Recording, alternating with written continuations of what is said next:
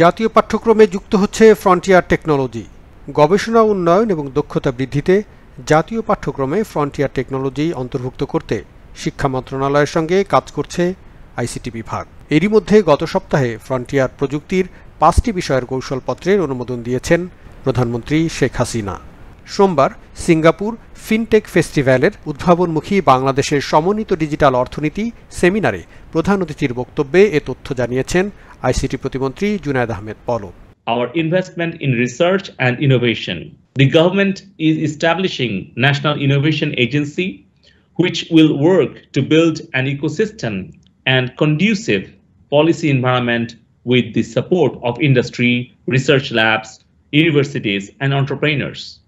We have also built around 5,000 Sheikh Russell digital labs across the country and are building 8,000 more to help train our youth both at school and college level. Five of our strategies National AI strategy, National Blockchain Trust strategy, National Robotics strategy, Internet of Things strategy, and microprocessor design strategy.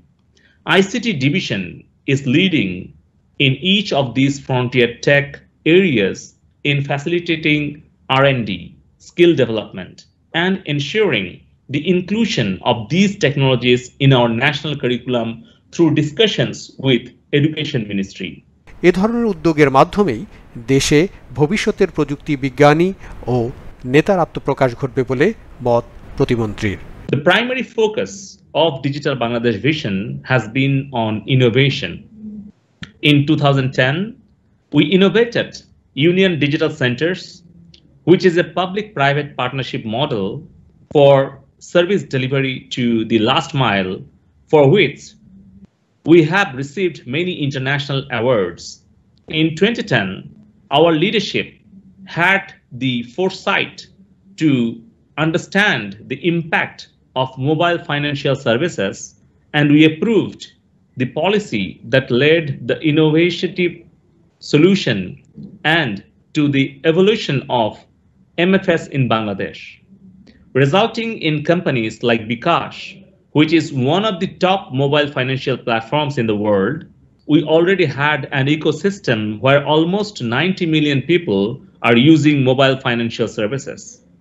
When ride sharing was getting popular in the region, we supported local startups, and that resulted in our local ride sharing giant Pathao, which has raised over $100 million in foreign investment.